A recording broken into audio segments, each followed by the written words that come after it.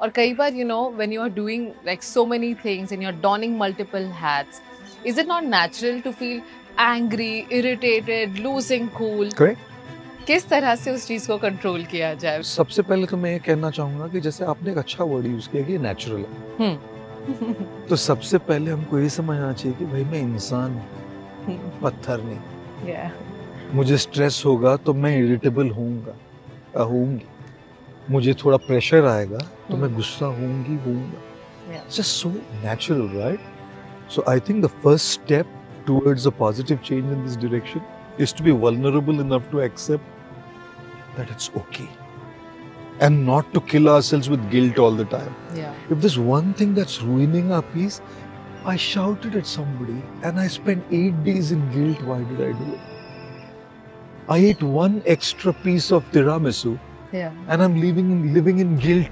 मेरा calories बढ़ गया. अरे खा ले यार एक दिन. the first step to a positive transformation is about being vulnerable to our own emotions, accepting accepting that they are real, yeah letting go of guilt and seeing how from our past last time's experience how can we get a little better the next time Yeah. like i remember there was a man who was asking his uh, son what is 9 multiplied by 8 he said 102 so the father gave him a chocolate for the wrong answer yeah gave him a chocolate huh so his wife said, the man's wife Hmm. said, 9 multiplied by 8, he's saying harden it to you, giving him a chocolate. Do you know what it's answer? he said, of course, it's 72. She said, why are you giving him a chocolate? The man said, look, two days back, he was saying 132.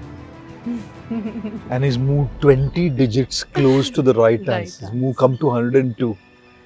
So every little step towards 72 should be rewarded, not punished. yeah We are constantly saying मैं गलत हूँ गलत हूँ क्यों ये गलत है Hmm. और उससे गलती से थोड़ी कम गलती हो गई ना Hmm. I'm in a better space. It's not that Rome was built in a day. It takes Yeah. time to deal with our human emotion. The book I wrote, Energize Your Mind, Hmm. and the whole book is about uh, our feelings, our emotions. Like the four sections to the book. The first section is me and my mind. How does my own mind put me in the trap of loneliness, depression, guilt? The second is others in my mind. How others make me feel trashed, rubbish, and how they affect my mental health. The third is me and others' mind. How when I speak in insensitive ways, it affects others' mental health. yeah And the fourth is universe and the mind. How the universe affects my mind.